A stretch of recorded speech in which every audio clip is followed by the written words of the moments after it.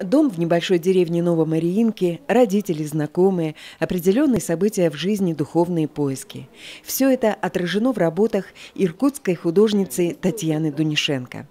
Только в своих произведениях она использует нестандартный материал – бересту, обладающую богатой цветовой палитрой и необычной фактурой. Я встретила кусок бересты. Было понятно, что в ней уже заложен какой-то природой рисунок.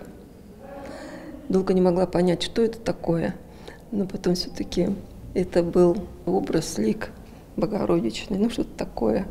Первым работам Татьяны уже почти 15 лет.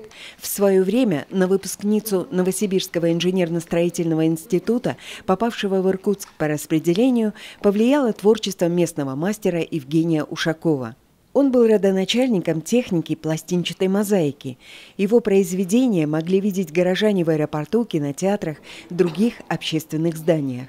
Основная тема, которую он не изменил всю жизнь, Сибирь, первопроходцы, дохристианская Русь. Не сказать, что я последователь, но, во всяком случае, в отношении теме России, в этом, может быть, в какой-то степени последователь в отношении к жизни. В экспозиции более 50 работ, созданных в последние годы. Это сюжетные композиции, портреты и пейзажи. Они не только из бересты, но и написанные пастелью. В чите своей работы Татьяна Николаевна представляет впервые и надеется, что они найдут отклик в душе забайкальцев.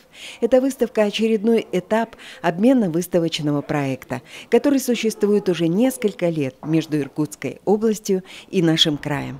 Галина Миртова, Антон Матушевский, Дмитрий Пенигин. Время новостей.